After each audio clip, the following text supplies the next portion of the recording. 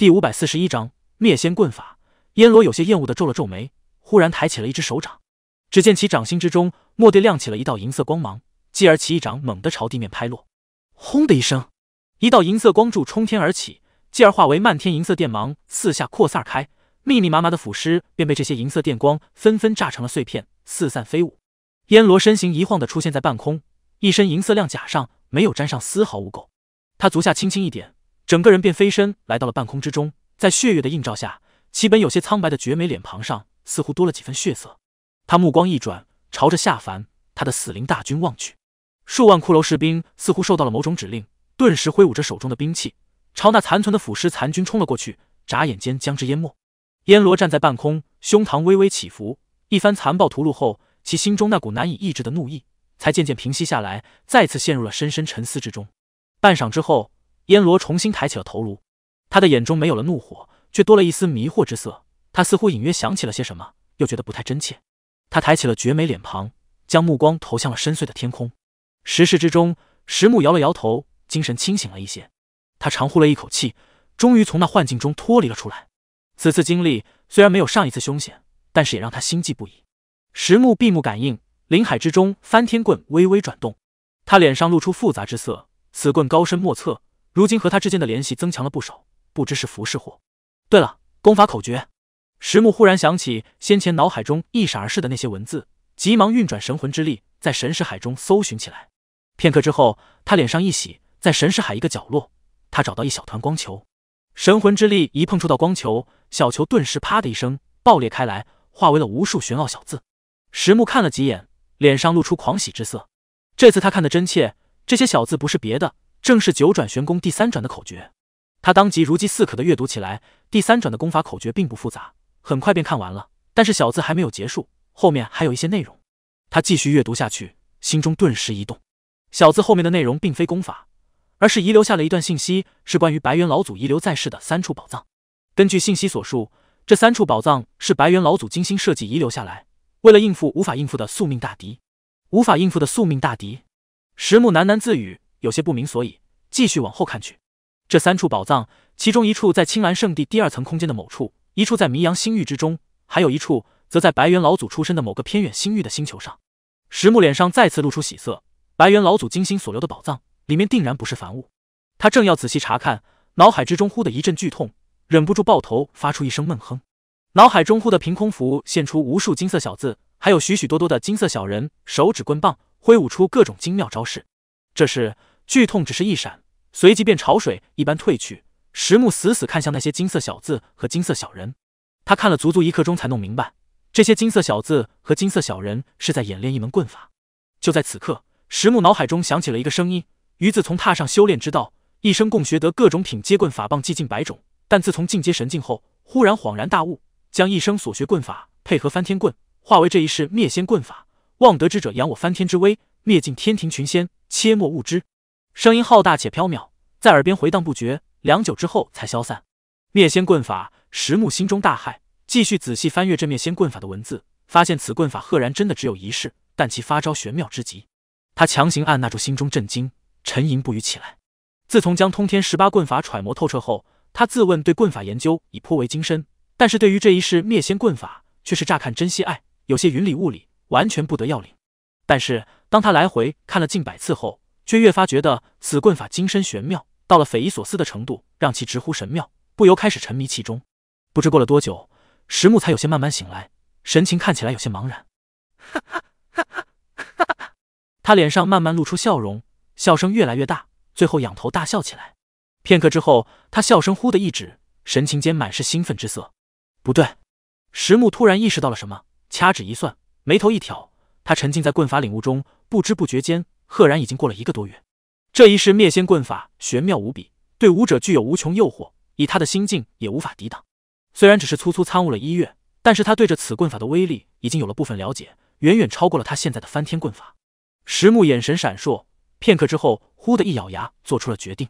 他心念一动，传讯给了彩儿和齐峰，说接下来要继续闭关静修，万事不要打扰。传讯结束，也不等回应，石木当即暂时掐断联系，闭上了眼睛。继续沉浸在了灭仙棍法之中。洞府之中，正在火灵泉附近玩耍的彩儿脸上一呆，转头看向石木闭关之处，叹了口气：“这石头整天闭关，真是无趣。”彩儿抱怨了一声，振翅飞起，朝着洞府之外飞去。灵地一处房间之中，齐风此刻似乎正在修炼。接到石木的传讯，他脸上微喜。石木这些年九成时间都在闭关修炼，将灵地的各种事务都扔给彩儿和他管理。彩儿虽然时而会想出一些稀奇古怪的点子，但其实并不怎么过问具体事务。对于石木允诺拨出奖励的那部分资源灵石，自然更不会过问。鉴于此，齐风暗中自然弄了不少好处。不过他很有自知之明，谋取的好处都极少，且石木所交代之事，他都会尽心尽力办好。毕竟他知道。石木看似万事不理，但是内里极为精明。那个滑头的彩儿一双眼睛也没有闲着，他可不敢有丝毫僭越。齐风沉默了一下，豁然站了起来，朝着外面走去。从刚刚石木的传讯消息看，接下来的闭关时间似乎不短。灵的有些事情，他必须先安排下去。时光飞逝，转眼间三年过去。这一日，石木闭关洞府之中，盘膝而坐的身体忽的一震，他缓缓睁开了眼睛，眼眸之中泛起诡异的黑白两色光芒，不过很快散去。他站了起来，脸上露出喜色。三年时间的参悟，对于这一世灭仙棍法才堪堪入门，勉强能够施展而已。不过即便如此，这一世棍法威力之强，也已经超出了他的预料。他心中顿时有些跃跃欲试，眼神满是兴奋之色，当即起身朝着外面走去。洞府大门轰然打开，石木的身影走出出来。石头，你终于出关了。彩儿从半空飞下，落在了石木肩膀上。石木点了点头，脚步不停。你最近怎么老是闭关？修炼当真这么着急？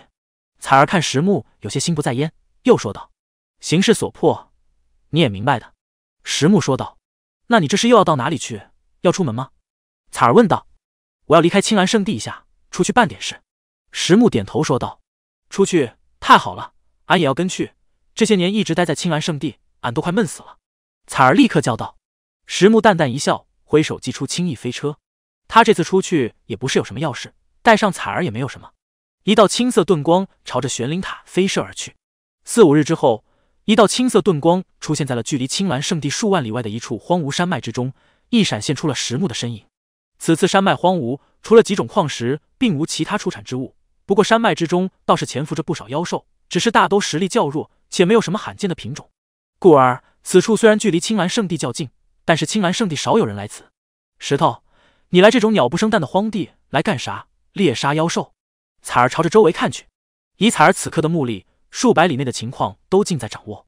石木摇了摇头，眼中露出一丝兴奋之色。但见其单手一抬，手中黑光一闪，如意棒浮现而出。这几年我在参悟一门棍法，刚刚小有所成，只是在此稍作尝试，看一下威力而已。石木说着，手中如意棒上泛起了黑色光芒。怎么这么麻烦？在灵地演练不就得了吗？何必还大老远的来到这种地方？彩儿不解的问道。石木摇了摇头，这一式灭仙棍法，他是无论如何也不敢在青蓝圣地中施展出来的。道理和九转玄功一样，谁知道青蓝圣地是不是也对灭仙棍法有些了解？毕竟白猿也曾是圣地万众瞩目的存在。石木深吸了一口气，不再和彩儿交谈，心神沉寂了下来。如意棒上黑光越来越亮。石头，等一下！就在此刻，彩儿忽的叫了一声，眼神金光闪烁。朝着一个方向看去，怎么了？石木一怔，问道：“那个方向有两头气息十分庞大的妖物，恐怕已有天位实力。”石头，你既然要试验棍法威力，与其在这里的白地上施展，不如在那两头妖物身上试验。”彩儿说道。“好，那就试试。”石木闻言点了点头，身上蓦然赤光大放，朝着彩儿所看的方向飞去。第五百四十二章复阴抱阳。片刻之后，石木的身影出现在了数百里外的一处巨大山峰前。山峰底部有一个巨大洞穴，黑漆漆，深不见底，但可以感受到一股强烈妖气从里面溢散而出。石木通过彩儿的视野，将里面的情况尽收眼底。洞穴深入地下颇深，里面最深处一个巨大洞窟空间内，赫然趴卧着两头身形庞大的黄色妖兽，外形看起来有些像是山狮，鬃毛披首，身形足有七八丈长，三四丈高，背脊上长出一排黄色尖刺，周身被一层浓密妖气包裹。正如彩儿所言，这是两头修为达到天位境的妖兽。原来是两头黄蜂吼王，石木喃喃说着，深吸了一口气，一股宏大气息从他身上散发而出，而后其双手握紧如意棍，单脚往前踏出一步，手中长棍猛地往前虚空一击，黑光一闪，但见一根黑乎乎的巨棍虚影从如意棍身中飞出，而后竟横跨百丈之远般的狠狠窜入前方的洞窟之中，一声惊天动地的巨响后，洞窟之中一阵巨颤，无数碎石击射，顷刻间将硕大的洞口堵塞。吼吼！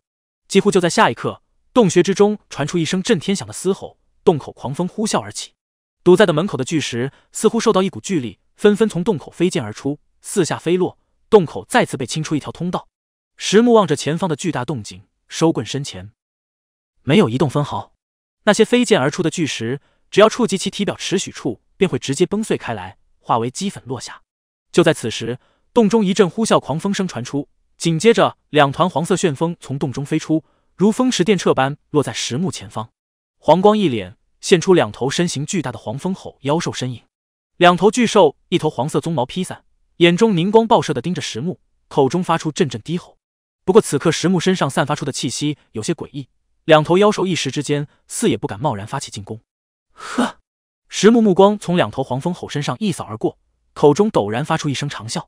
下一刻，其左右手臂分别泛起白黑两色光芒，越来越亮，直冲天际。石木一个小小人类，此刻恍如一座飓风，矗立在天边，狂暴的威压从其身上爆发开来，朝着两头黄蜂吼压去。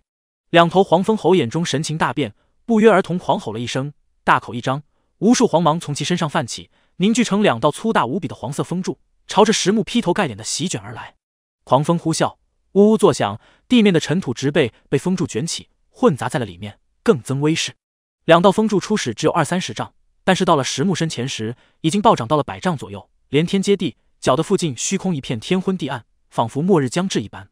石木豁然睁开眼睛，面对两道粗大之极的风柱，口中冷哼一声，手中如意棒黑光大放。下一刻。他身形犹如陀螺般转动，手中如意棒也变得迷蒙起来，幻化出一道道纵横交错的残影，黑白两色光芒淹没了他的身体，恍如一颗黑白太阳一般耀眼刺目。灭仙棍法！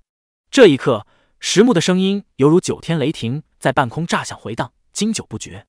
但见一道粗大无比的黑白两色棍影从半空中浮现而出，继而轰然落下，直接砸落在黄色龙卷风柱上。两个巨大风柱在黑白色棍影触及下，仿佛纸糊一般。轻易被击断，爆裂开来，消散无踪。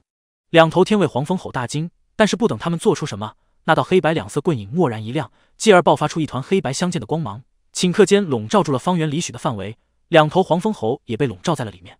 两头黄蜂猴四足狂奔，周身浮现出一道道黄色飓风，想要挣扎出去。周围虚空忽的一阵扭曲变形起来，黑白两色光芒一下分开，白光往上，黑光下降，仿佛天地初开，清浊之气分离一般。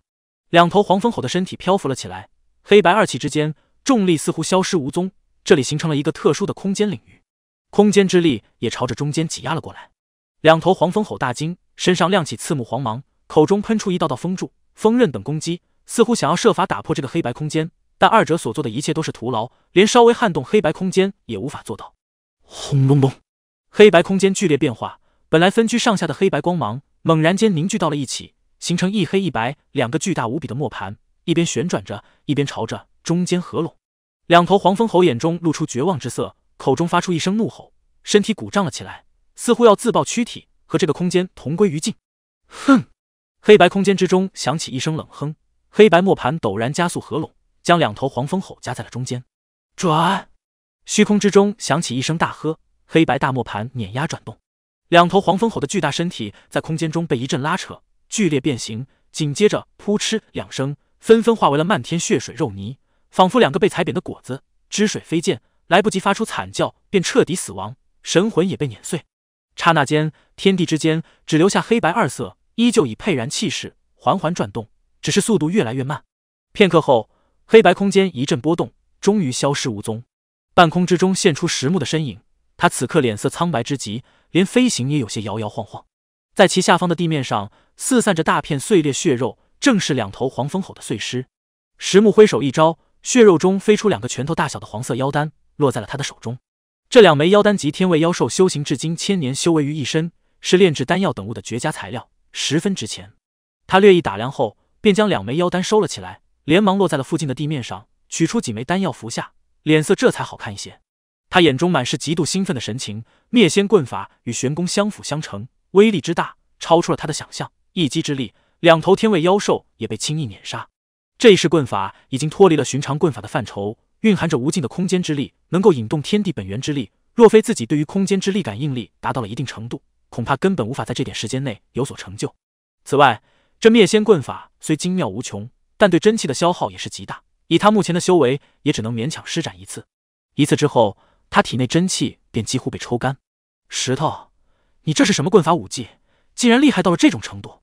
彩儿此刻从远处飞了过来，大叫道：“刚刚灭仙棍法施展的时候，石木将其远远送了出去，免得被棍法威力波及。试一试灭仙棍法，我刚刚从翻天棍中参悟所得。”石木对彩儿说了一声，便不再理会，取出两块极品灵石握在手中，汲取其中灵力，迅速恢复体内真气。彩儿也没有再问，自觉的在其周围为其护法警戒起来。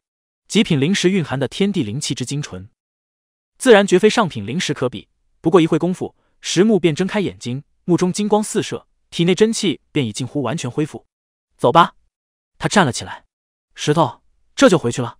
彩儿似有些不满。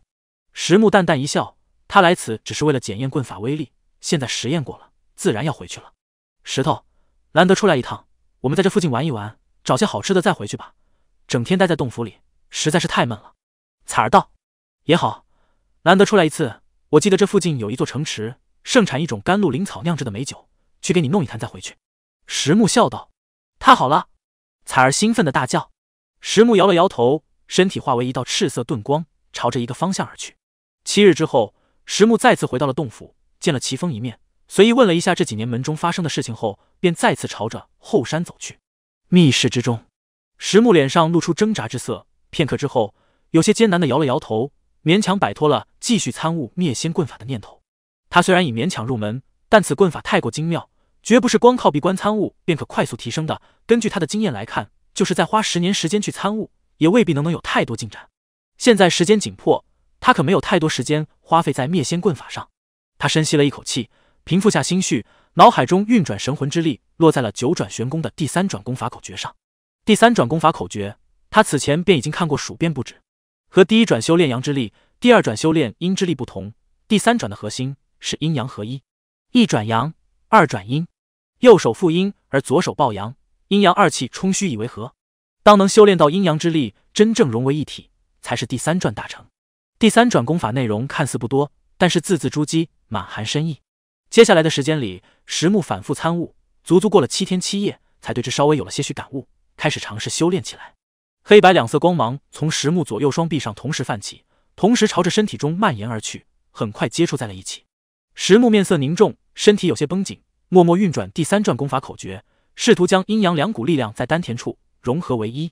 第五百四十三章幻魔道。时光荏苒，光阴流逝，转眼间三个月一晃而过。密室之中，石木盘膝而坐。双目紧闭，整个人被一层黑白相间的光芒笼罩，两种颜色泾渭分明，没有丝毫融合迹象。怎么回事？简直完全不得要领！究竟哪里出了问题？石木睁开眼睛，口中喃喃说道：“这两三个月里，他不断尝试，至今却徒劳无功，让其不禁有些心焦。同时催动左手至阳之力和右手至阴之力都没有问题，但是，一旦尝试阴阳之力融会贯通，至阴之力和至阳之力立刻泛冲，根本不可能融合一体。”他也不敢强行融合，否则阴阳之力激烈冲突下，这种爆发力太过惊人，到时怕是他的身体首先便承受不住了。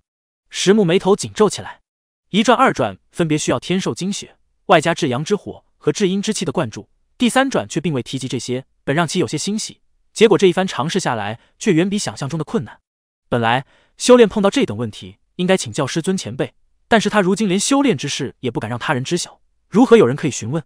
对了。白猿老祖的那三处宝藏，石木脑海中电光一闪，突然想到了什么。他脑海中还有白猿老祖遗留的关于三处宝藏的信息，还没有仔细查看，其中或许有办法。白猿老祖不会无缘无故留下三处宝藏，既然在说明功法的同时留下了这一段信息，其中必有深意。石木立刻闭目查看起关于那些宝藏的信息，足足一顿饭的功夫，他睁开了眼睛，脸上露出大喜之色。他想的果然没错，白猿老祖在青蓝圣地二层空间的宝藏里。留了一种有助于阴阳平衡之物，至于究竟是什么，却并没有说明。无论如何，这一信息对于如今的石木而言，绝对是雪中送炭。不过随即，石木似乎想起了什么，神情间的笑容慢慢消失。要前往宝藏之地，便需要前往青蓝圣地第二层。在青蓝圣地，各个空间往来规定极严，以自己如今百年弟子身份，一般情况下是根本无法前往第二层的。也就是说，要想踏足第二层，最直接的方法。是自己也成为一名千年弟子。但是圣地明确规定，想要成为千年弟子，必须在第一层前修满千年，而且修为也必须达到天位境界才有资格申请。石木脸上露出一丝苦笑，他来到青蓝圣地才不过区区十几年，若要前往，需要再等上近千年。即便他有这个耐心，但其他那些修炼玄功之人又岂会等他？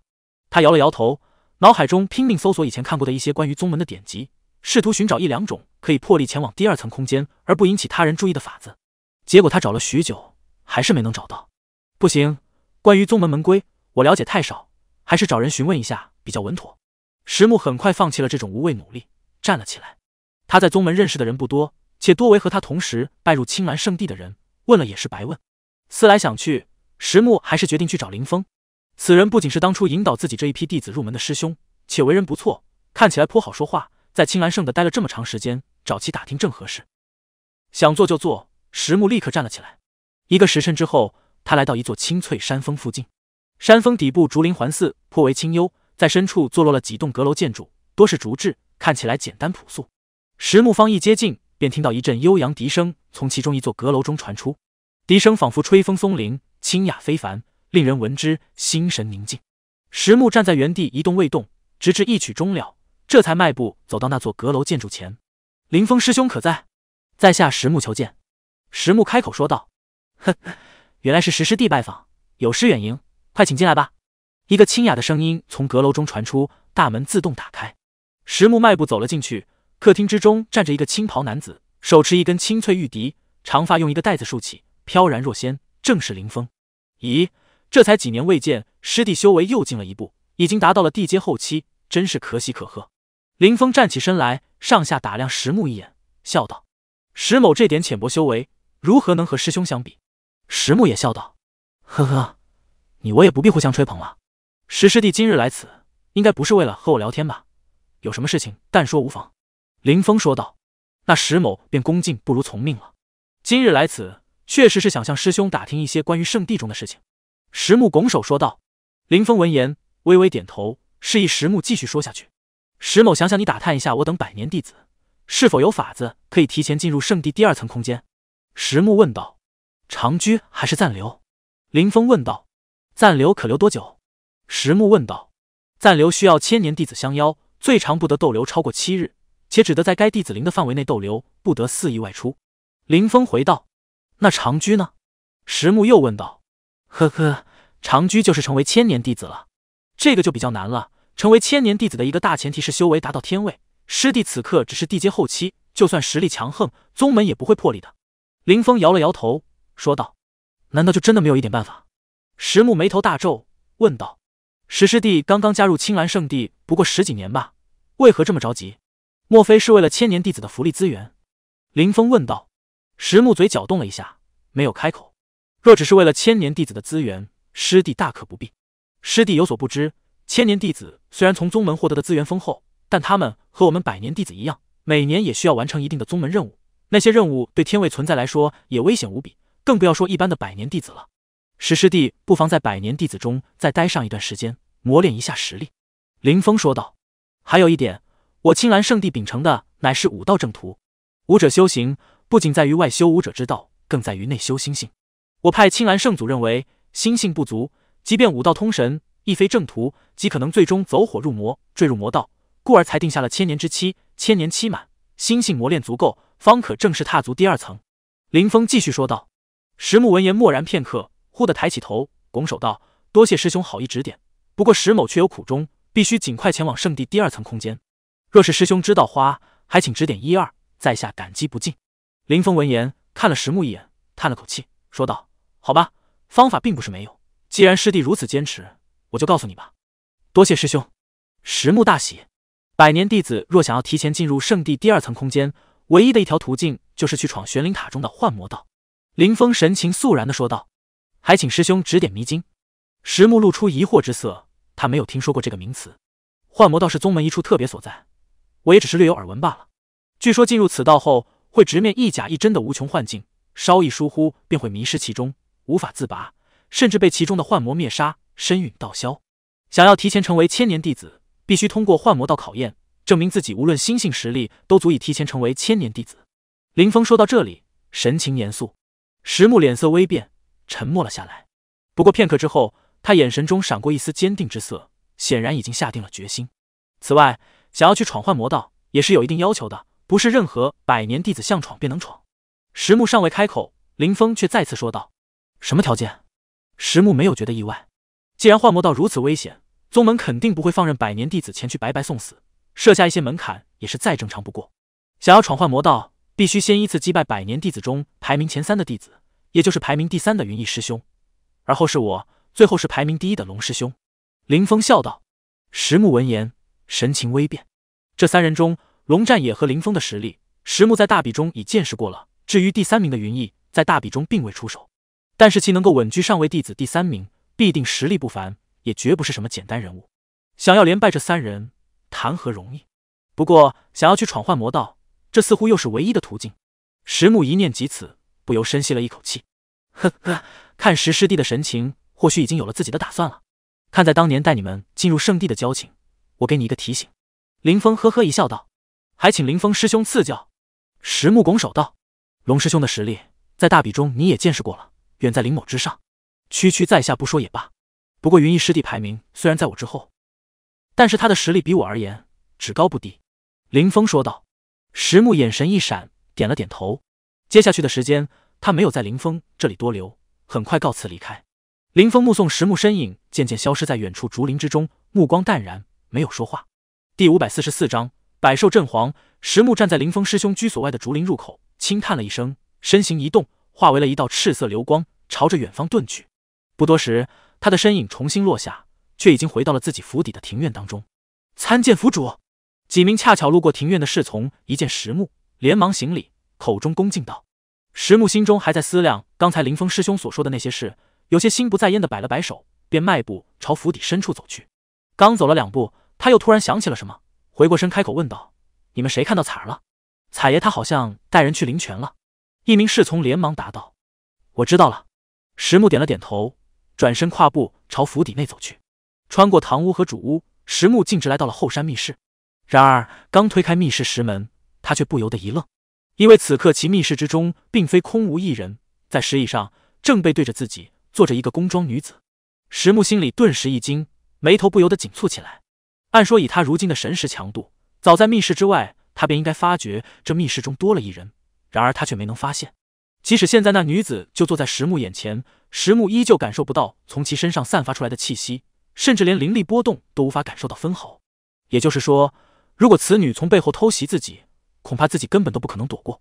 一念及此，石木背心不由冒出冷汗，心中暗生戒备的同时，面上丝毫神色未变的打量起对方。这女子身着一袭广袖披帛的白色宫装，微微收紧的腰带。恰如其分的勾勒出其身材玲珑有致的身段，其宽大裙服如同雪月光华一般逶迤拖在身后，及腰的乌云长发则如同黑色瀑布一般从肩膀上铺洒而下。他就这么静静的坐在椅子上，浑身上下笼着一层淡白色光晕，就看起来如同九天仙子一般，有着一股说不出的出尘气质。石木心头突然一动，有些不太确定的叫了声：“烟罗，是你吗？”女子肩头微耸，缓缓转过了面庞。只见那张粉雕玉琢般的面孔上，微地绵渺，琼鼻耸立，阴唇微起，看起来浑然天成，竟从中找不出一丝瑕疵。而在其眉心之上，却有一枚莲花状的黑色灵纹标记，与其晶莹如玉的肌肤相衬，非但没有破坏她出尘的气质，反而更平添了几分妖冶之色。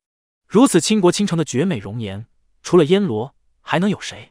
只是如今，其除去了一身银甲戎装，少了几分杀伐果断的英武之气，却更多了几分不食人间烟火的仙子之气。石木就这般望着那道身影，竟不觉有些痴了。他的脑海中只余下了惊艳二字。你看够了没？烟罗朱唇轻启，声音依旧如同往昔般冰冷。哦，抱歉，只是有些惊讶。对了，你怎么来了？石木回过神来，问道。其实，自从当初约定的三年期满之后，石木就曾不止一次的召唤过对方，而后者却从未回应过他，更不用说出现在他面前，所以他才有此疑问。他与烟罗之间的契约并未废弃。彼此之间的那缕神识联系也还存在，但石木却知道，那些联系对于如今的烟罗而言，根本就是形同虚设。烟罗瞥了石木一眼，却没有回答他的话，只是淡淡说道：“自然是有事。什么事？跟我走。”话音刚落，也不等石木答应，烟罗不由分说的取出坠仙台，口中默默吟诵起咒语。哧啦一声，只见坠仙台表面的金色暗纹上光芒一亮，便有一道黑色漩涡凭空浮现，眨眼之间就将石木和烟罗吞噬了进去，而后便消失不见。石木只觉得一阵天旋地转，下一刻便发现自己已经出现在了死灵界面中。他的目光扫视了周围一眼，就发现自己此刻正处在明水湖畔的那座祭坛上，正是十几年前燕罗为他建造的那座。令石木感到惊讶的是，他眼前的那片明水湖的面积竟比记忆之中大上了数倍，看起来宽阔无垠，如同一片小型海域一般。而在明水湖畔，如今却散分布着了十数个黑石堆砌的宫殿，造型古朴粗犷。那些黑石宫殿周围，则密密麻麻的聚集着无数白森色的骷髅士兵，石木粗略一估计，竟有近乎十万之众。很显然，这些年来燕罗也没闲着，他的实力已扩张了不止十倍。燕罗，你带我来此，究竟有何事？石木目光飞快一扫，开口问道：“你想要诛尽万仙？”燕罗问道：“你？”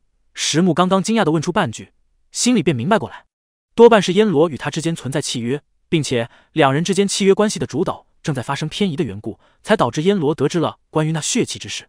实不相瞒，此事我自己也有些云里雾里。石木如此说道。说你知道的，烟罗说道。好吧，事情是这样的。石木略一思索，发现自己也没有隐瞒烟罗的必要。况且他也正一头迷雾，想要得知答案。毕竟从目前的表现来看，他似乎还知道一些别的事情。于是乎，石木便将有关玄功、翻天棍。白猿老祖以及血气之事，对燕罗赵实说了一遍。当时的情况就是这样，所以我到现在还有些摸不着边。石木摇了摇头，说道：“以你如今的实力，妄言杀尽万仙，简直是痴心妄想。就是随便出来一个仙人，便可一直碾杀你。”燕罗如此说道。石木听完此话，心中顿时一阵巨震，他的脑海中不由得浮现出翻天棍禁制中出现过的那片仙境，以及那自己完全无力反抗的金色巨掌。对了，这所谓的天庭究竟是什么地方？所谓的仙人真的存在？石木皱眉问道。他这句话刚一问出，就看到烟罗面上突然一寒，一股几乎化为实质的凛冽杀意骤然从他身上发出，向着四面八方席卷而出。聚集在明水湖畔的数万骷髅大军感受到这股杀意，纷纷身躯狂颤，四面八方顿时响起一阵骨骼交击发出的声响。烟罗这股杀意持续了有数息的时间，才慢慢消散开来。天庭究竟在什么地方？我也不知道，我只知道，你和我的目的是相同的，我们有着共同的敌人。但现在的你太过弱小，需要在战斗厮杀中好好磨砺一番才行，否则就是送死。半晌之后，燕罗才平复下了心绪，如此说道：“你是指？”石木心中一动，先别说杀入天庭、诛灭万仙，摆在自己面前的，首先便是获得幻魔道的资格。青蓝榜第一层排名前三之人，没有一个是好对付的，不仅修为已真天位。且盘踞第一层多年，实战经验何其丰富！你只需记住你的承诺，余下之事我自会帮你安排。”燕罗说道。两月后，一处荒凉山谷内，石木一袭青衫，如同一杆标枪一般，笔直立在一块红褐色的岩石之上。与他等身而长的如意冰铁棍，正被他紧紧握在手中。灵蛇出动，其眼中金光一闪，大步向前跨出，手中长棍飞快舞动，一道灵蛇般的白色龙卷飞舞而出，朝着前方冲击而去。倦鸟之反。紧接着，石木再度向前冲起一步，手中如意长棍环转抛出，在半空中舞出一道回旋棍影，竟将刚才冲击而出的白色龙卷牵引而回。潜龙腾渊，猿挠攀援，苍鹰盖顶，虎四出匣。石木身形腾转挪移，手中黑色长棍上下飞舞，行云流水般将通天棍法中的前八式一气呵成的使了出来。此时的山谷之中，飞沙走石，阴云蔽天，如临末日。石木的周身都被大团的白色气流混合着褐色的沙石所包裹，仿佛在他周身正围着一道坚实的围墙，将他与外界阻隔起来。嗷！只听那沙石气流的围墙之内不断传出各种猛兽嘶吼之声，围墙之上也不断有一头头猛兽虚影浮现而出，似要挣脱这围墙的束缚一般。石木面色肃然，正在左右轮转的黑色长棍骤然一收，横在了身前。接着其向前猛跨一步，双手紧握长棍，骤然横棍向前一震，好！一声犹如巨兽猛啸之声传出，犹如虎啸深山，充满无尽威严。那团混合着沙石的白色气流轰然溃散开来，一道道气流构成的巨大猛兽被压抑许久，终于奋不顾身地拖出了围墙的束缚，从中猛然窜出。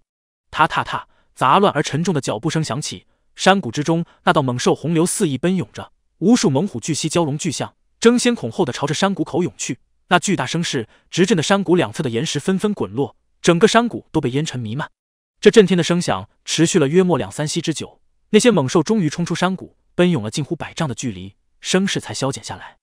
石木人还在山谷之中，看着眼前被猛兽洪流冲击出的数百道深达丈许的沟壑，心中也是无比震惊。之前在大比中，对于通天棍法的数招并用，已让其有了一些启发。如今加上对灭仙一事的参悟，更让他明白了万法归一、返璞归真的武道治理。虽然还未能完全参透，但是他如今对棍法的领悟已然更上了一层高楼。此番潜心修习，终于让他合通天棍法前八式为一式，领悟出了这一式百兽震惶，自创出了通天棍法的第十九式。第五百四十五章魔力。这两个月里，石木便被燕罗安顿在这处山谷之中修炼。燕罗在带其来此后，除了催动坠仙台式放出一层无形能量施加其身上后，便飘然离去，一直不知所踪。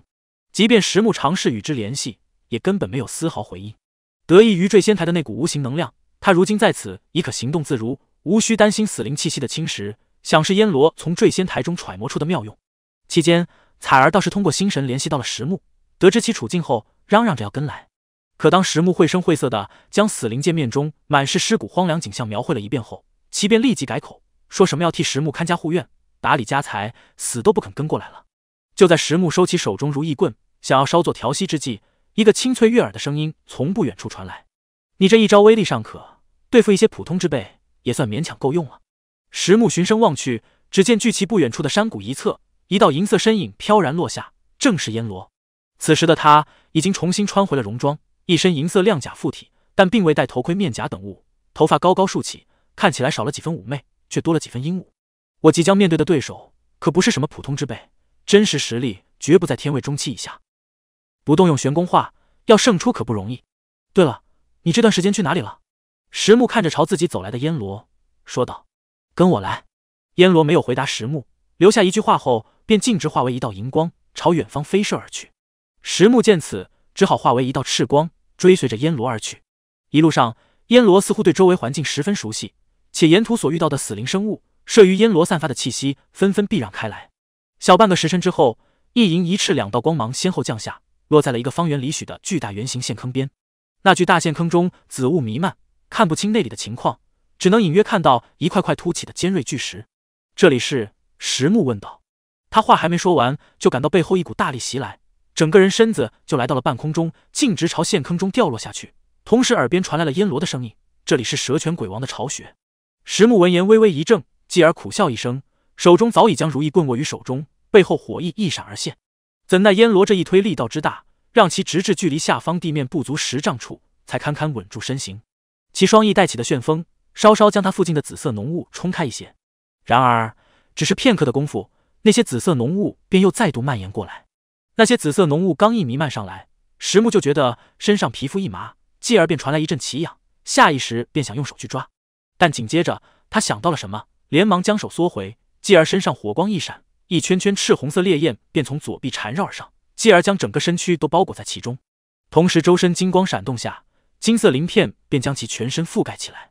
在其周围，那些紫色浓雾被火焰一燎，顿时发出滋滋之声，冒出一股股白烟。就在这时，石木突然感到一阵灵力波动从左前方传来，双目金光流转下，就看到自己左侧紫色浓雾剧烈翻滚。不好！石木心中一凛，下一刻。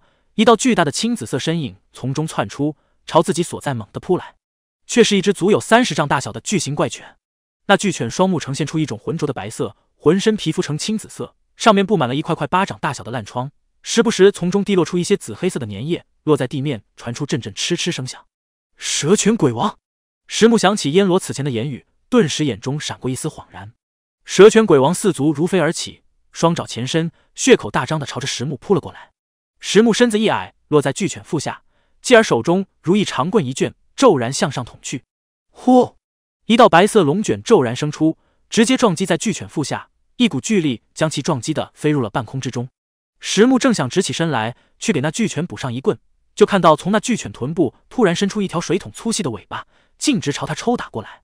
他立即举棍去打，却看到那根粗壮的尾巴居然灵活的一转，绕过黑色长棍，朝着他的身体卷来。石木顿时一惊，忙拨转棍，身横在身前，想要格挡住那根尾巴。啪的一声，那根粗尾径直抽打在如意冰铁棍上，一股巨力从棍中传来，使得石木双臂一麻，险些握不住手中兵器。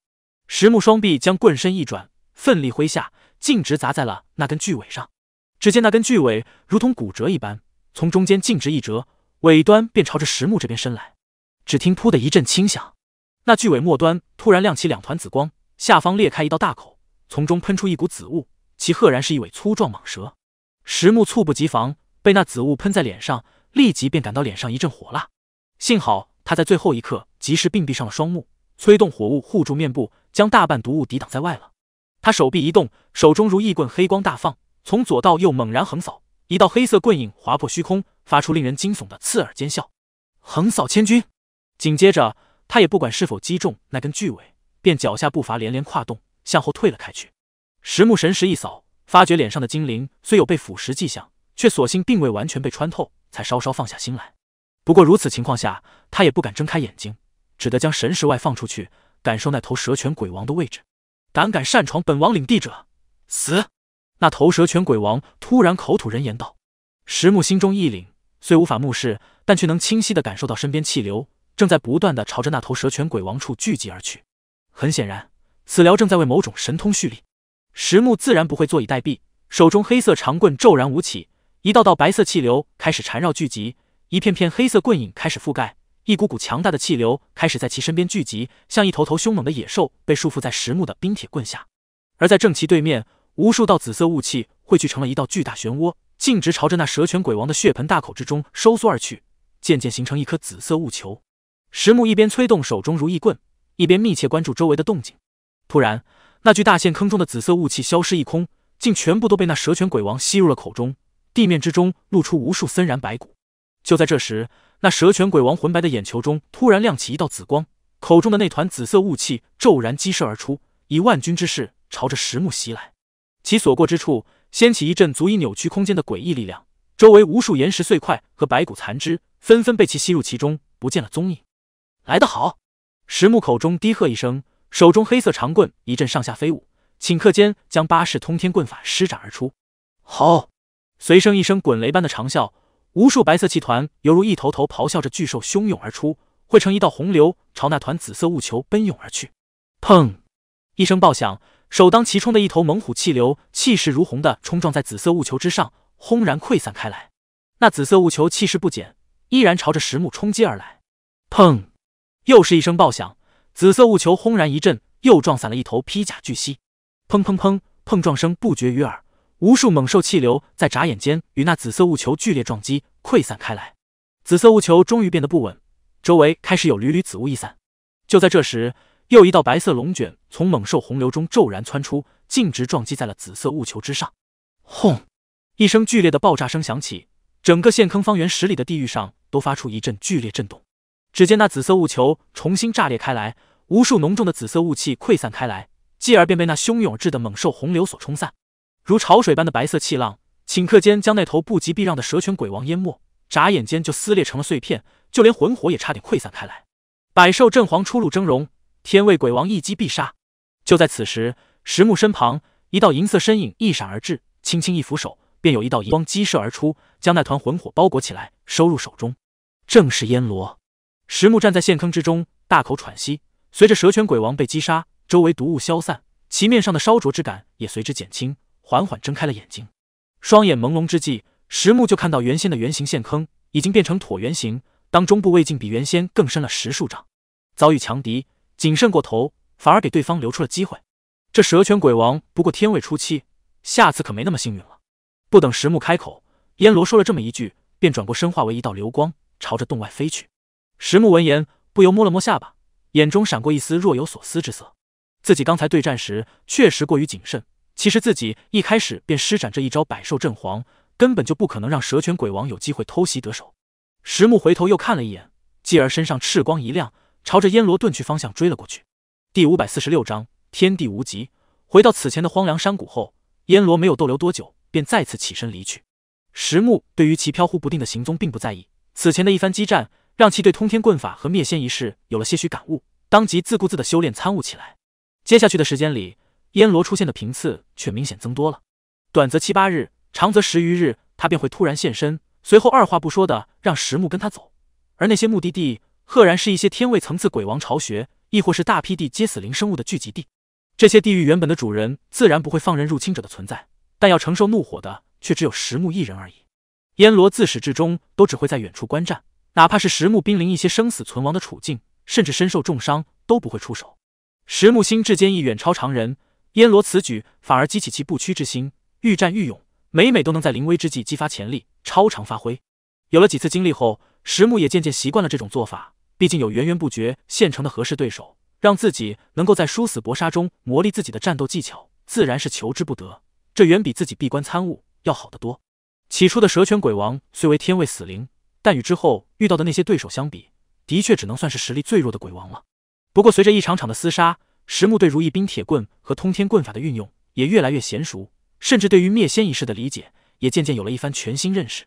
两年后的一天，一处明水湖畔，一银一赤两道光芒从远方飞遁而至，落了下来。这次是什么？石木将如意棍扛在肩头，目光四下一扫，问道。燕罗二话不说的抬起手臂。拇指与中指一扣，隔空朝着那湖面之上一弹，指端便有一道银色亮光爆射而出，落在湖中。原本平静的明水湖，在银光没入的一瞬间，立即震荡起来。一道道圆形波纹自湖中心处缓缓扩散开来，不一会儿，便形成了一道巨大的漩涡。轰！只听湖中发出一声爆响，一道粗壮的水龙卷就从那道漩涡中扶摇而出，径直冲向了半空。石木目光一凝，就看到在那水龙卷顶端站着一个高约十丈。手握一杆碧蓝巨叉的青肤巨汉，巨汉脖颈上长着一颗硕大马首，其赤裸着的上身露出健实壮硕的肌肉，双臂则覆盖着一层如同鱼类般的细密鳞片。何方宵小之徒，胆敢扰本王清修？马首巨汉瞪着铜铃般大眼，怒吼道，声震长空，犹如滚雷。乌沙鬼王真是实力不下于我。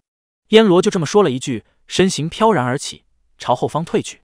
石木也没废话，直接将扛在肩头的如意冰铁棍一挥。摆出了一个起手式，目光直直盯着半空中的乌沙鬼王，找死！乌沙鬼王一声大吼，蓦然从水龙顶端一跃而下，手中碧蓝巨叉狠狠冲石木所在一劈而去。一股蓝蒙蒙的刃芒仿佛瀑布般的从天飞落而下，其原本所站的水龙也随之倒灌而至，与刃芒合二为一的化为一道蓝红相间的长龙，朝着石木席卷而去。石木见状，足下一点，朝着后方退去，同时双臂连续重黑色长棍不断挥舞下。一道道白色龙卷绵延不绝的飞卷而出，蓝红水龙一路势如破竹，将白色龙卷纷纷击溃。但去世终究还是被拖延了些许，被石木闪身避过，爆发出一团耀眼光芒的没入地面。轰隆隆的一声巨响，整个大地为之巨颤，现出一道百丈长的巨大裂缝。石木堪堪在裂缝不远处稳住身形，乌沙鬼王已然翻身落在明水湖畔，双足重重落地，发出一声响彻天地的巨响，顿时一圈圈如同波浪一般的波动。从乌沙鬼王所站处传播开来，所过之处，地面顿时犹如地震般震颤裂开，碎石飞溅。石木眉头一皱，二话不说的翻身跃起，足底白云凭空浮现，托住了其身形。此刻的他，周身金光粼粼，赫然已施展了图腾变身，气息也随之攀升至地阶巅峰。哪里逃！乌沙鬼王怒喝一声，手中碧蓝巨叉蓦然举起，表面光芒大亮，表面浮现出一道道纹路，在其身后，明水湖中竟也出现一圈圈圆形符文。噗噗之声大作，一道道明湖之水从这些圆形符文中冲天而起，并化为一匹匹血色巨马从湖面脱离而出，密密麻麻，足有上千上百匹。这些血色巨马在空中四足狂奔，朝着石木所在狂奔而去，轰鸣声震天，天空都被映得铜红一片。此刻的石木面色平静，手中如一棍狂舞，周身早已被一股古白色气流所充斥，传出阵阵猛兽咆哮之音。在血色万马气势如虹的奔腾而来之时，石木向前一步跨出。横握着黑色长棍，猛然向前一震，吼一声震天长啸。明水湖畔滚雷之声大作，一头头由白色气流构成的猛兽肆意奔腾，汇聚成一道猛兽洪流，咆哮着迎向了血色万马。铺天盖地的白色巨兽与明水凝就的万马碰撞在一起，轰隆隆声一响，白红两色光芒骤然间在乌沙鬼王和石木中间的虚空中爆发而出，一股无形气浪向两侧席卷而开，一下子将整片天空从中间笔直割裂成了白红两色。双方竟然隐隐不相上下的样子，但周围大地连带着明水湖面都开始剧烈震动起来。刚才已被乌沙鬼王震碎的地面顿时塌陷下去，涌动的湖水立即倒灌了进来。就在此时，乌沙鬼王身后蓝光大放，身后赫然出现了一个高达百丈的蓝色虚影，却是一个长着马首鱼身的巨大法相。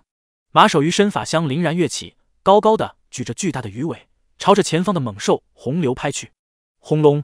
一阵惊天动地的震动之声响起，明水湖畔骤然卷起一片铺天盖地的气浪，裹挟着无数明湖之水，如同山崩海啸一般，朝着那道猛兽洪流冲击而去。呼！肆意翻涌的滔滔浊流卷着无数碎石泥土，瞬间就将石木的猛兽洪流覆盖了过去。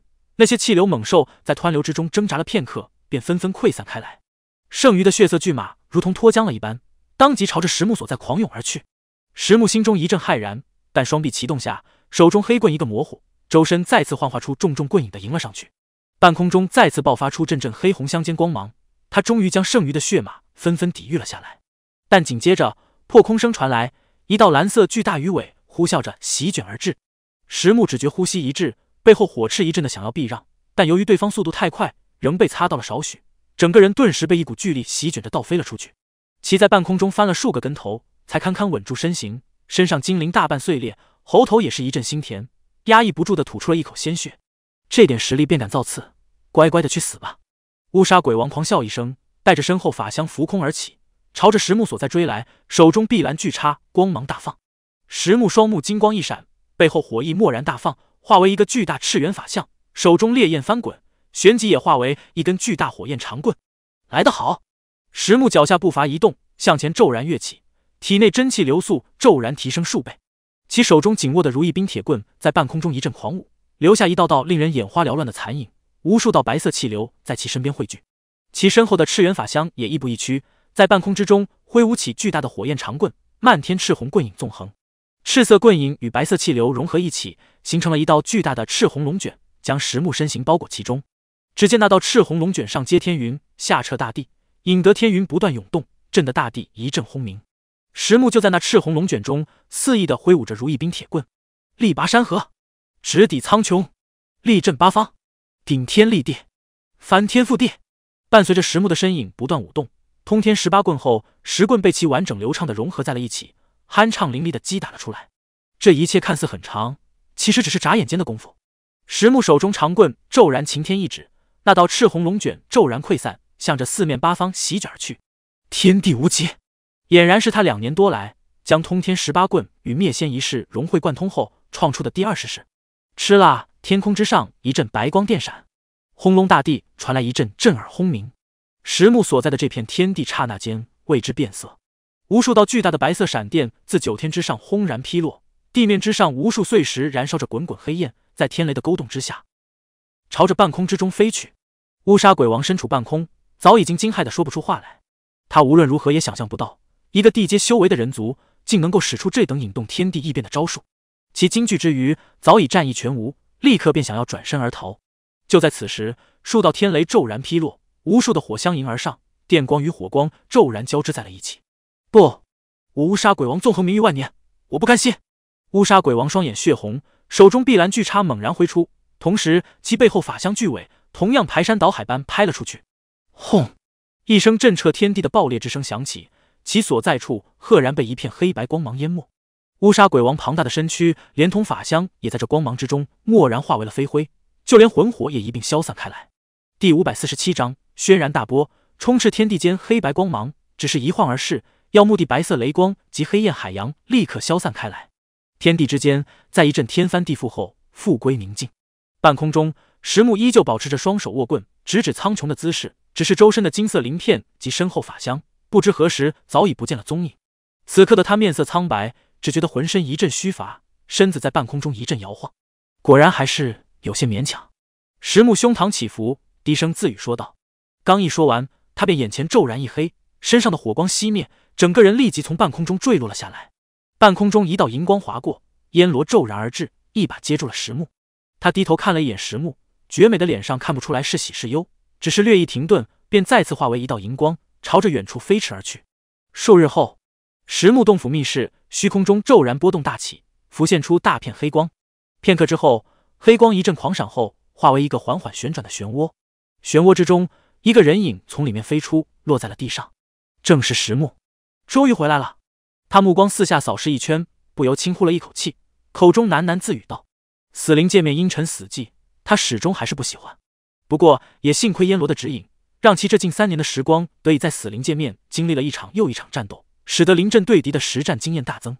毕竟除了死灵界面，放眼整个迷阳星域，也绝难找到另一处拥有那么多天位对手，并可任其厮杀的地方了。如今的他虽然仍是地阶后期修为，但整个人无论是散发的气势，还是真实实力，都与两年前可谓是判若两人。对于和天位中期以下实力者的战斗，也是信心大增。石木在密室静立了一会，平复了一下心境，而后深吸了口气，转身朝着外面走去。石头，石木一走出洞府，一道细小身影便从远处飞来，自然是彩儿。这些年怎么样？没人来找麻烦吧？石木随意问道。有俺和齐胖子在，能出什么事？对了，你在死灵界面的试炼完成了？彩儿落在石木肩膀，问道。石木点了点头。那你这是要去哪里？难道这边要挑战那幻魔道？彩儿问道。不错。石木望了一眼天空，如此说道。可是马上就是十年大比之期了，你真要在这个时候挑战？彩儿问道。石木一怔，这些年他忙于修炼，倒是忘了时间，转眼竟然又过了差不多九年，距离大比之期已十分临近了。石头，你这些年忙于闭关修炼，可是连宗门任务都没完成。要不你等大比结束之后再挑战吧。以你现在的实力，可以在大比中崭露风头，先拿到一些宗门奖励再说。彩儿建议道：“那些不过是蝇头小利，不要也罢。”石木略一沉吟，摇了摇头道：“彩儿见石木这般义无反顾模样，也不再多说什么。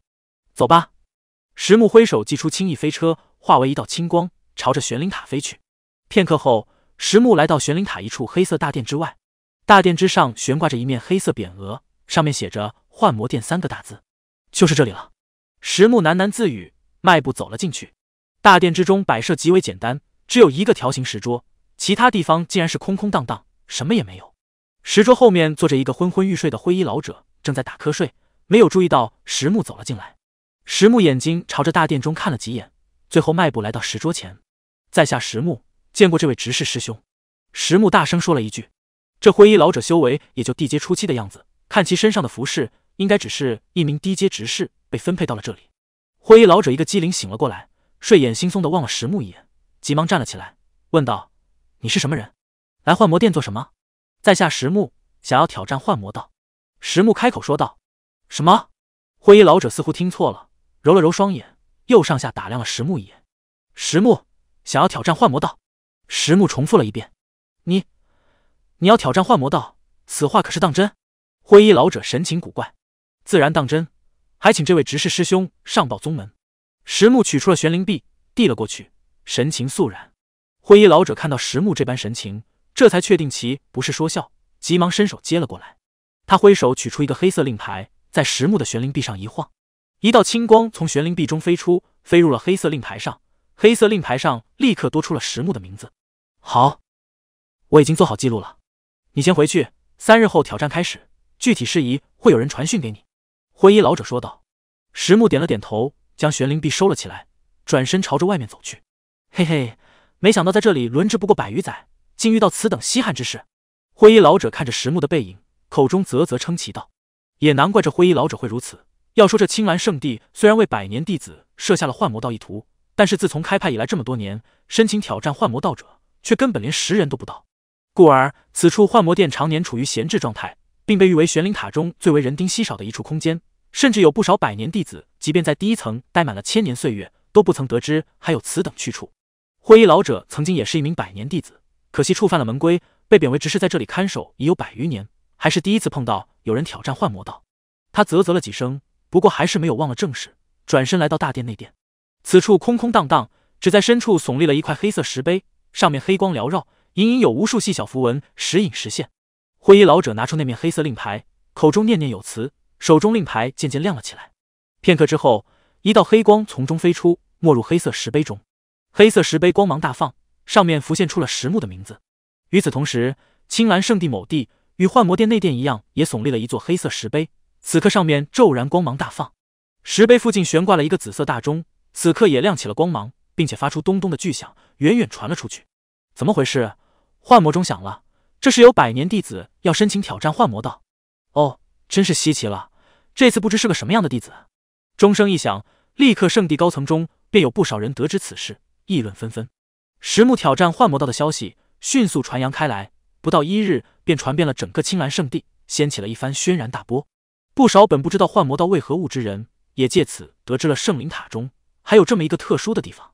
所有人在得知石木此举的目的后，自然一片哗然。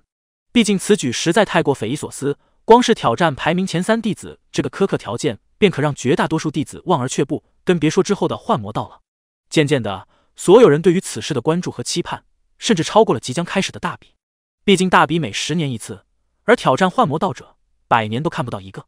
第一层空间某处林地，一个白衣青年盘膝坐在一块青色大石上。此刻大石之下，一个青衣侍从跪拜在地，口中禀告着什么。石木，似乎听说过这个名字，是上次大比新进的上位弟子吧？竟然要挑战幻魔道，真是不知死活。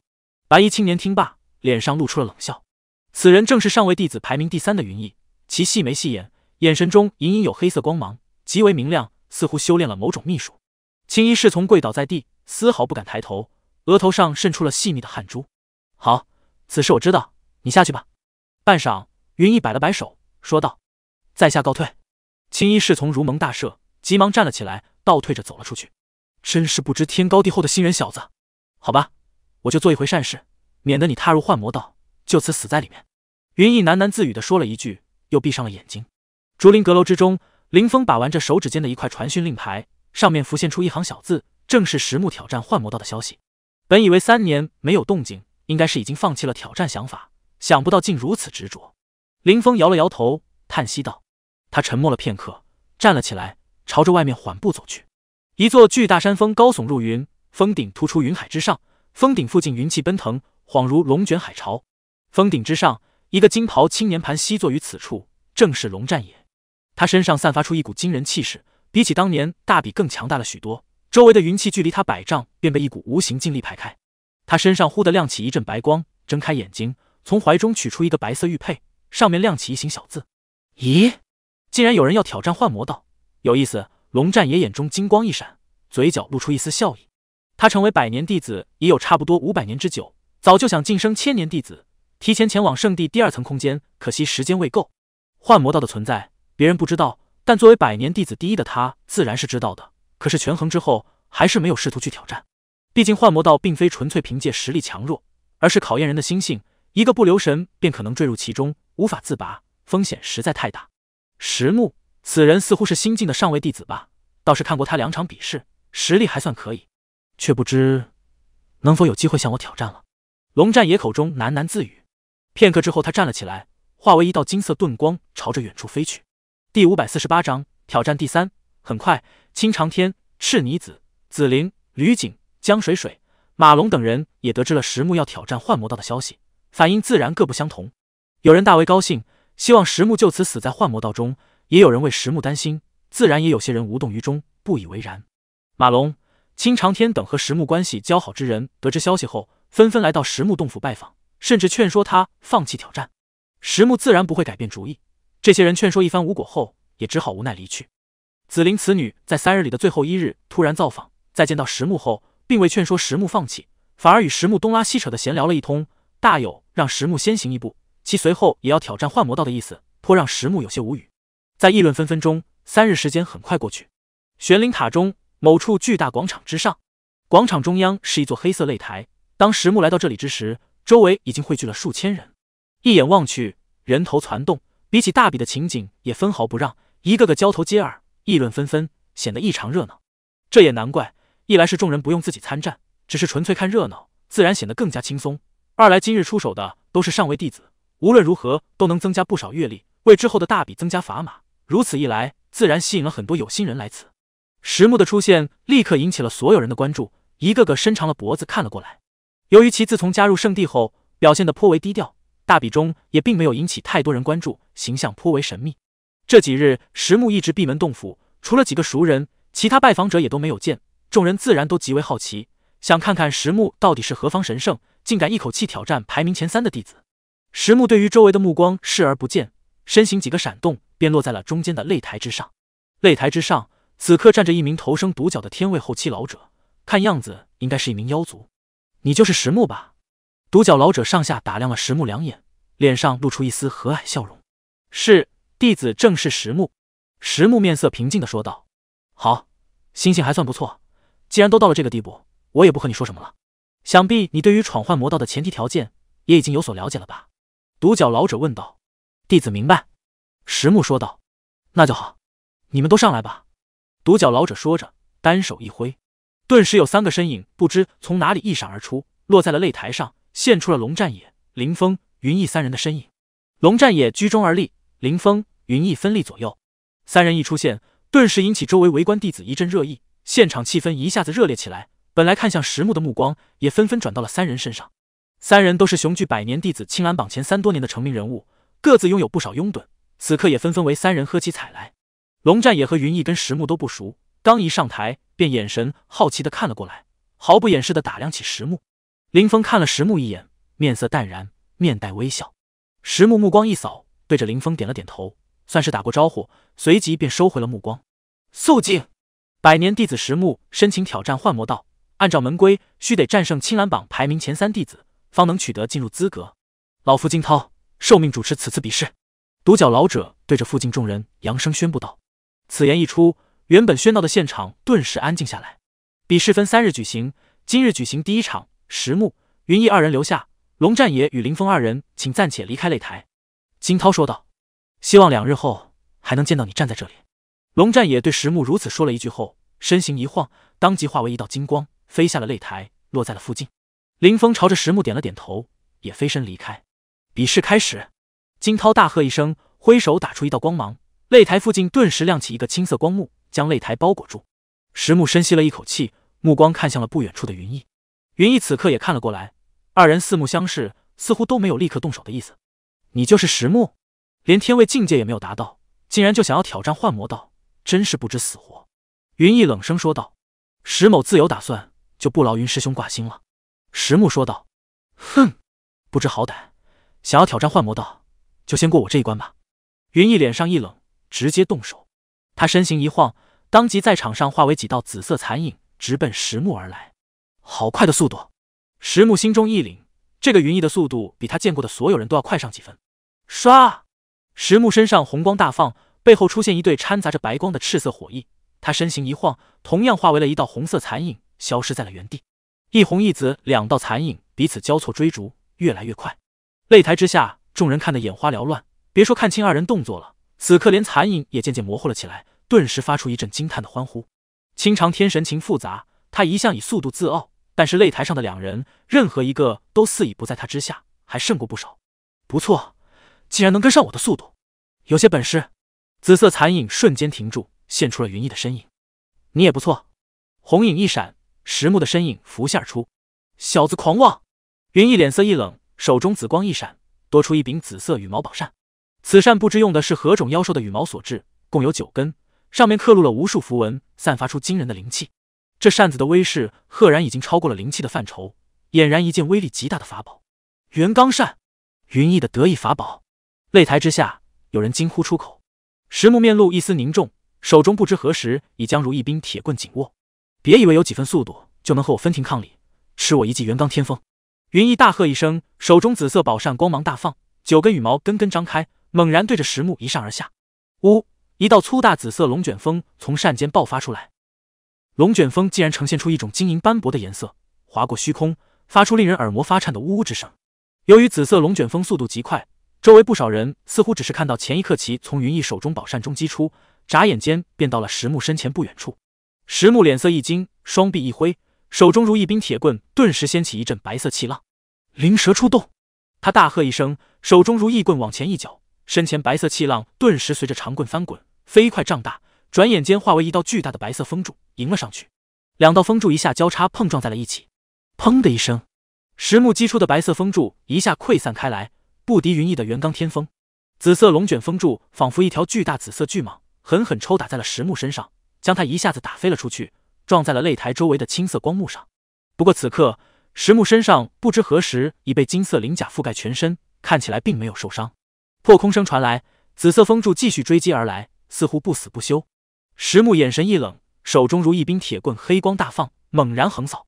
横扫千军，一道粗大黑色棒影狠狠横击在了紫色风柱上的薄弱之处，仿佛打折七寸。轰！紫色风柱轰然碎裂，化为一股狂风爆裂开来。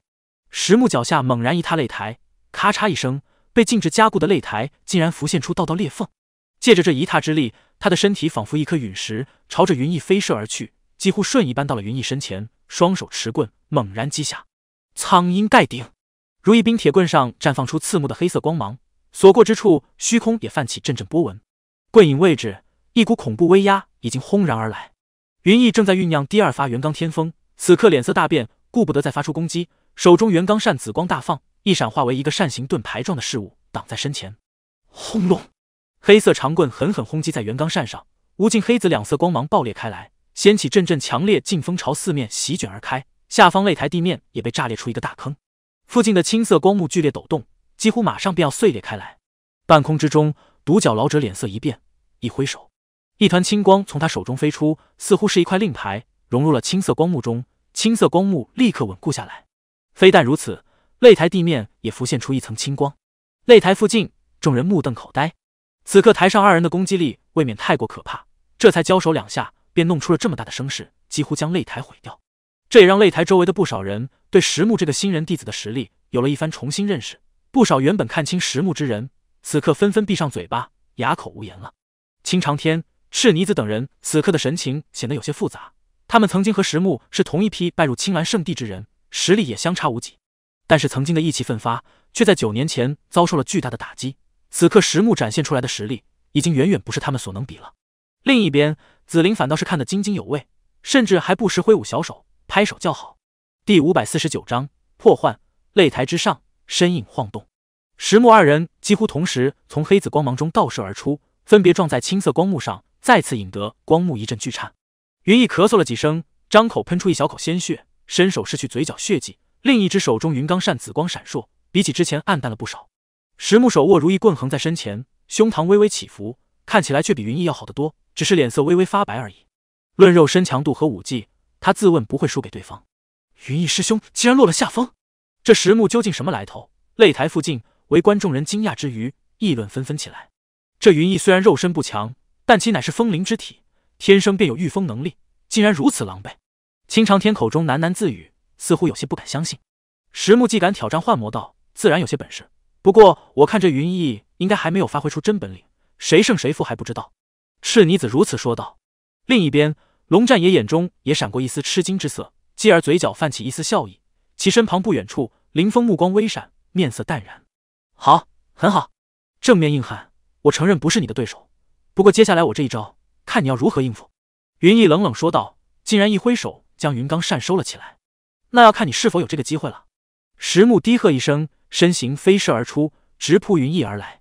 身形位置，手中如意冰铁棍黑光大放，绽放出无数道密集棍影，朝着云逸铺天盖地而去，不容他出手。此刻的云逸双臂朝两侧展开，头颅微微抬起，竟闭上了双目。紧接着，其身上忽的泛起道道青光，身体竟然变得透明，直接融入了空气之中。风声一起，石木的棍影尽数打在了空处。风遁。石木见此情形，眉头不禁一皱，脸色凝重。就在此时，其背后虚空浮现出点点青光，云逸的身形诡异的浮现而出。石木背后如同长着眼睛一般，豁然转身，双臂一转，手中长棍毫不迟疑的横扫而出。云逸脚下轻轻一点地面，身形仿佛风吹柳絮般一晃，躲过了这一击。风扫落叶，石木身形飞扑了上去，如一冰铁棍爆发出狂风暴雨般的攻击，一道道棍影纵横交错而出。然而云逸此刻只是一味躲闪，气势惊人的密集棍影。竟连对方寸缕都无法摸到，并且随着云逸身形晃动，一阵风笛般的悠扬声音从其身上悠然传出，初闻颇为悦耳，并未见什么不妥。不好！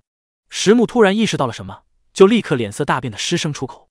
但其纵然肉身强悍，且周身被一层赤光覆盖，但在这仿佛有生命的摄魂魔音前，却根本无济于事。这声音立刻从他的耳中朝着他的脑海中钻去，他只觉得脑海一阵嗡嗡作响，全身气血浮躁。眼前画面也随之一阵晃动，神魂攻击。石木心中大凛，这才明白云逸所谓的杀手锏。他猛地一咬舌头，刺痛使得他脑海一清，竭力运转赤元火晶，镇压体内躁动的气血和神魂，同时催动神识之力护住识海。幸好他身为月阶术士，精神力本就不弱，加上之前在天星殿修炼数月，体内真气被大大精纯了一番，这才勉强镇压住了体内情况。不过石木身体也开始摇摇晃晃，仿佛喝醉酒一般。不过却兀自没有放弃舞动长棍，朝着云逸发动攻击。怎么可能？既然如此，云逸脸色一变，旋即眼中露出挣扎之色。片刻之后，他一咬牙，身体一晃的闪过数道棍影攻击，出现在擂台一角。摄魂魔音，随着其一声低喝，双目紫芒大放，散发出一圈圈诡异的波纹圆圈，朝着石木笼罩而去。石木抵挡耳中魔音本已十分勉强，身体一碰到那诡异波纹，顿觉眼前风景一变，下一刻猛然发现自己赫然身处在一处无边火海之中，周围入目处皆是翻涌滔天的火浪，热浪滚滚，舔舐着他的身体，让其连呼吸都大感无法继续。不，这只是幻境。石木朝着周围看去，立刻闪过一个念头，他连忙竭力释放神识之力，一圈圈缠绕神识海，同时手中如意棍紧握狂舞，试图破解周围的幻术。与此同时，擂台之上，云逸身体微微抖了一下，踉跄了两步，勉强站稳，大口喘息。而不远处，石木眼神迷蒙，整个人仿佛木桩一般站在原地，手中如意棍狂舞不止。擂台附近，围观众人议论纷纷。这石木看来是要败了，以地阶后期挑战天位武者，本就太过勉强了。云逸师兄本就以身法和精神攻击见长，就算实力比他强的人，初次遇到，稍不留神便会中招。更何况石木此子不过地阶后期修为了。哼，高看这小子了。龙战也哼了一声，看着呆立的石木，眼中浮现出轻蔑之色。擂台一角，云逸喘息了几下，这才缓缓平息下来，目光看向呆立的石木。幻境之中，石木面露疯狂，口中发出怒吼，手中长棍越舞越快，咚咚咚，他心脏剧烈跳动，林海中一波波强大无比的真气波动扩散开来，不停的冲撞一股无形的束缚。到这般田地，还妄图试图抵挡，简直不知死活。云逸手中紫光一闪，元钢扇再次握于手中，那就让我送你一程吧。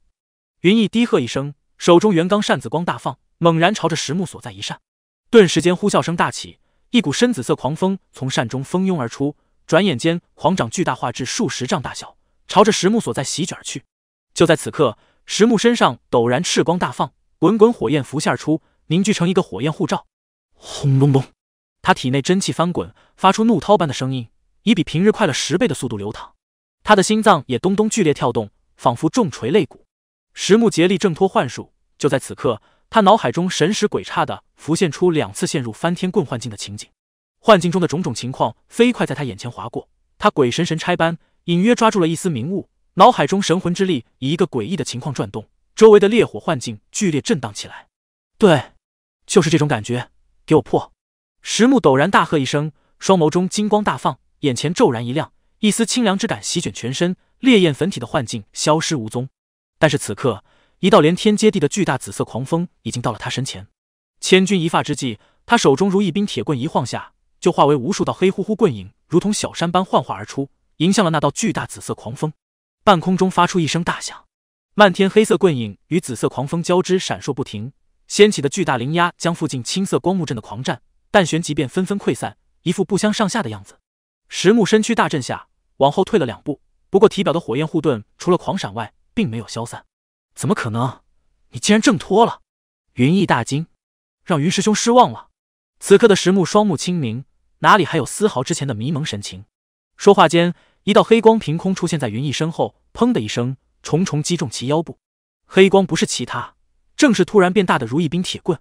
砰的一声，云逸口中鲜血狂喷，连人带扇子飞了出去。直飞出了七八丈，这才落在了地上，挣扎了两下，但是还是没能站起身。你，云逸口中满是鲜血，不可置信的看着石木。石木单手一招，收起了如意冰铁棍。他已经手下留情了，否则刚刚只要再多用一份力，云逸非得肋骨尽碎，内脏破裂不可。那可是重伤，就算有灵丹妙药，也需要很久才能恢复。他和对方没有什么仇怨，自然不用下狠手。广场之上，此刻一片死寂。擂台上情况突起胡落，情势斗转。前一刹那，石木还败局已定，一转眼，云逸却被打倒在地，众人都还没有反应过来。不过很快，死寂变成了哗然。擂台附近众人发出一阵惊呼：云逸竟然就这么败了！这个石木太厉害了，竟然击败了排名第三的云逸师兄。看他还游刃有余的样子，恐怕还保留了实力，真是可怕。同时，有不少人的目光开始朝着擂台某处并肩而立的两人望去。这小子果然不简单。林峰眼神闪烁。口中喃喃自语着：“哼，明天就看你了。”龙战也看着石木，眼神中绽放出夺目的金光。擂台之上，石木豁然转身，视线正好和龙战也碰撞在了一起，虚空隐隐闪现出火花。龙战也和石木对视了一眼，立刻闭上眼睛，转身化为一道金色盾光，朝着远处飞去。今日石木挑战成功，明日再次举行第二场挑战。独角老者此刻飞身落了下来，立刻宣布了结果。擂台附近顿时响起一阵嗡嗡议论。有两个人飞身上台，将重伤的云逸扶了下去。石木轻呼了一口气，也走下擂台，在所有人目光注视下飘然远去。留给他的时间可不多，必须尽快养精蓄锐，准备明日的比试。第五百五十章势如破荒。第二日，擂台附近围观之人比昨日还多了不少。石木一举战胜云逸，此事一经哄传开来，自然吸引了更多的注意。擂台之上，石木和林峰相对而战。不到十年时间，石师弟不仅修为大进。且身法及实战方面皆有不少精进，看来着实下了一番苦功。林峰说道：“师兄谬赞，不过略有寸进，今日还要请师兄指点一二。”石木道：“你如今真实实力，怕是已不在我之下，指点就免了，我自会全力以赴。”林峰笑道：“正要如此，上次大比惨败在林峰师兄手下，此次石某可是有一雪前耻的打算的。”石木同样呵呵一笑道：“哈哈，好。”林峰大笑一声，手中蓝光一闪，多出了一柄三尺宝剑。此剑通体蔚蓝，上面清晰的铭刻着许多蝌蚪般的符文。此刻虽然还没有催动，但是已经散发出一道道恐怖的剑气，威势丝毫不在云逸的元罡扇之下，赫然也是一件法宝。石木眼神一闪，手中黑光一闪，也将如意冰铁棍握于手中。接招！林峰轻喝一声，手中蓝色长剑一晃，在半空划过一道蓝莹莹的剑气，足有七八丈长，散发出刺骨寒意，直刺向石木面门。剑气位置，一股冰雪剑意已经笼罩住了石木，让其有种全身血液似都被冻结之感。丹田气府真气流转速度也是大缓。好厉害！石木暗呼了一声。林峰的实力比起上次大比又进步了许多，这九年多来看来也没有闲着。他心中念头电转，手中动作却不敢有丝毫马虎。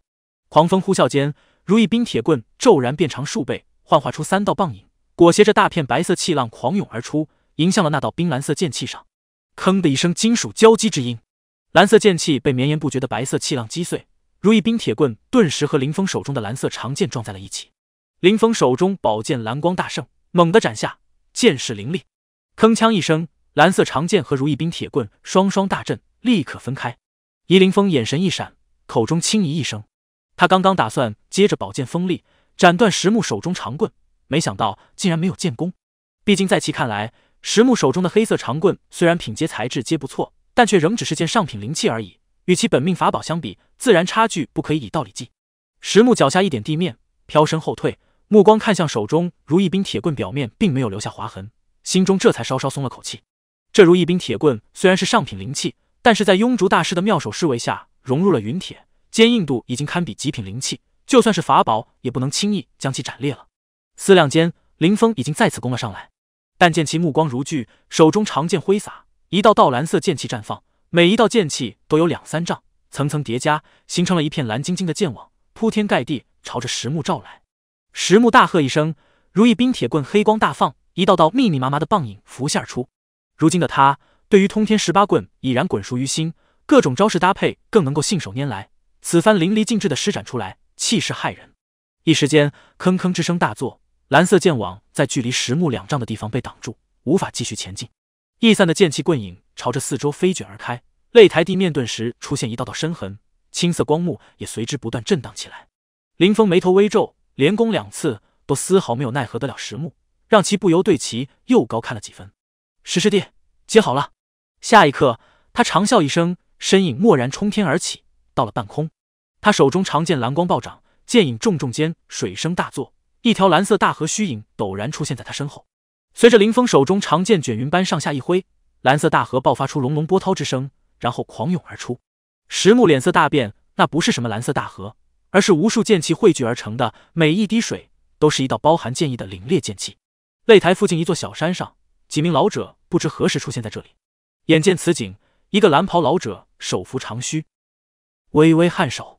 这天位武技苍河剑法，林峰已经深得其中三位。不错，林峰确实是一名剑道奇才，只是自从得了排行第二后，便时常外出，常年不见人影了。另一名老者如此说道。擂台附近众人眼见如此精妙剑法，一个个面露叹服之色，如痴如醉。石木此刻却没有这等感觉，铺天盖地的剑意已经将他淹没，仿佛下一刻便是万箭穿心的下场。他瞳孔微缩，神情一冷，手中如意冰铁棍骤然亮起大片冲天黑光，黑光之中，如意冰铁棍飞快变大。转眼间化为了七八丈长，磨盘粗细的巨棒，大片黑光从巨棒上散发而出，恍如开天魔棒。哗！擂台之下，众人眼见此景，脸色一变，发出一阵惊呼，纷纷诧异于如今的新景观。石木大喝一声，手臂金光缭绕，一下粗大了一倍，挥舞起了黑色巨棒，力拔山河，攀山越岭，力震八方。三招一出，黑色巨棒呼啸而上，发出一声仿佛野兽般的咆哮，朝着蓝色剑河砸去。轰！两者相撞，发出隆隆巨响，声震四野，连虚空都颤抖起来。然而二者只是坚持了不足一息时间，蓝色剑河便赫然被一下击碎，无数剑气朝着周围飞射，有的甚至逆流而上，刺向了林峰。不过，黑色巨棒也被一股反震巨力弹回，一端轰然砸在地面上，并有一小半深陷了进去。整个擂台猛然一抖，附近众人脚下地面也随之震颤了一下。石木只觉一股巨力从黑色巨棒上反冲而回，他噔噔噔连退了几步，脸色一白，这才站稳。他深吸了一口气，挥手打出一道法诀，黑色巨棒飞快缩小，化为原本大小的，从地面弹起，飞回了他的手中。半空之中，林峰的身影浮现而出，看起来略显几分狼狈。脸上神情却依旧一副淡然从容的样子。